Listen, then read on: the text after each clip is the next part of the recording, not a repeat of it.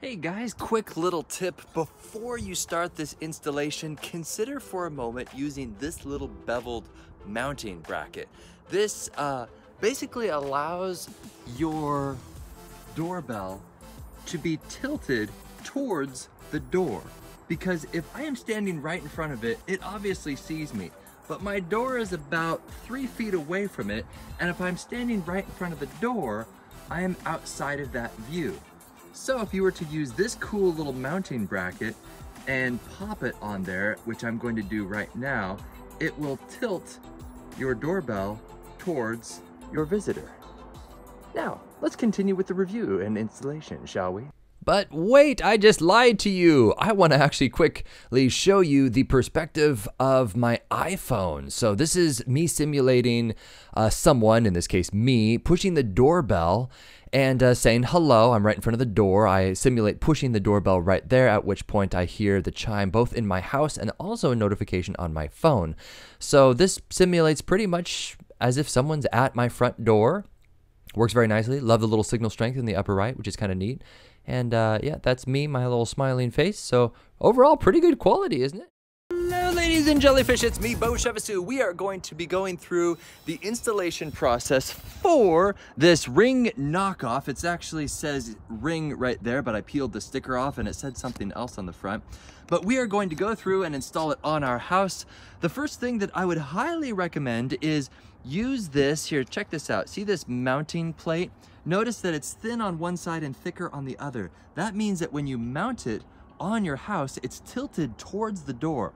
I would highly recommend using this shim on there. Just make sure that uh, it kind of looks like this. So see the mounting plate is attached to that little beveled shim and then the two screws. And then the two screws are going to go right into your house. And then at that point, you're simply going to get your your your ring or knockoff whatever they're calling these these days pop it in snap it in. You're going to have a little screw on the bottom uh, which is right oh maybe it fell down. Oh there it is. It's that little guy right there. And uh, then once it's in position it should automatically boot up. You'll hear a pleasant chime that indicates that there is power to your doorbell you open up the app. Now this is not the most intuitive thing to set it up. I was actually having difficulty connecting this thing and it showed me a QR code ultimately. And all I did was hold the QR code up to uh, my, my, uh, my, my doorbell and then I pressed this and held it down a little bit and it scanned the QR code using this camera. And then it automatically said, you're set up.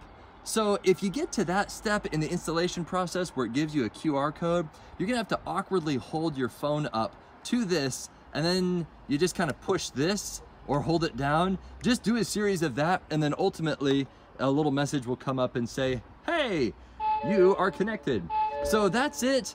I hope that this helps in determining whether or not this doorbell is right for you. I've put the, uh, just the, the link in the description below if on the off chance you want to look at other reviews out there to see if this is right for you.